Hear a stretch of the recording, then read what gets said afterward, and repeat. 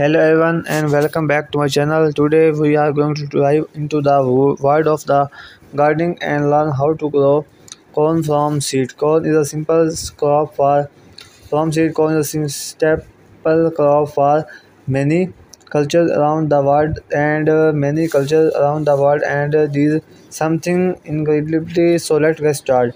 Before we begin, it is important to choose the right location for your corn. Corn loves sunlight, so make sure you Select a spot in your garden that receives uh, full sun throughout the day. Also ensure that the soil is well drained and rich in organic matter. This will provide the optimal condition for your corn to thrive. To prepare the soil, I recommend adding compost or well-rotted manure to enhance its fertility. Spread a generous layer of compost over the garden bed and mix it into the soil using a garden fork or a tiller. This will help improve the soil structure and provide essential nutrients for the corn plants. Now it's time to plant the corn seed. Now you can find corn seed. It's your local nursery or order them online. Choose a variety that suits your climate and preference. On the back of the seed package, you will find specific instructions regarding to the spacing and planting depth.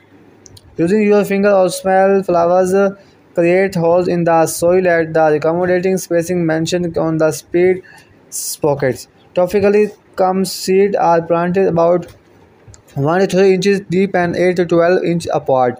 Drop the seed into the holes and cover them with soil gently, uh, potting it down to ensure good seed to soil contact. After planting, make sure to water the area thoroughly. Corn requires consistent moisture, especially during the early stage of growth. Water the, the plant deeply once or twice a week, depending on your climate and the amount of rainfall. Remember, the soil should be constantly but not waterlogged. To support the growth of your corn plants, uh, this will ensure they have the necessary nutrients to develop healthy ears of corns.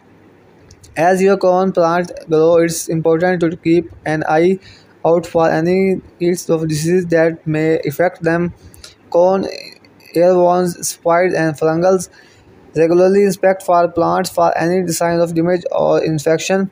If you notice any problem, there are various organic pest controls. Uh, finally, the moment we have been waiting for harvesting our corn Corn is ready to harvest when the silks turn brown and dry and the kernels are plump and milky to harvest. Simply grip the hair firmly and pull it downward, downward twisting it slightly to let it from the stalk. Freshly harvested around corn is delicious and provides a staying reward for all your and hard work. Uh, and there you have its first growing corn from seed is an enjoyable and rewarding experience. Whether you have a larger garden or just a few pots or your balcony you can enjoy the taste of homegrown corn i hope you found this uh, video helpful and inspiring. If you did please give it thumbs up and consider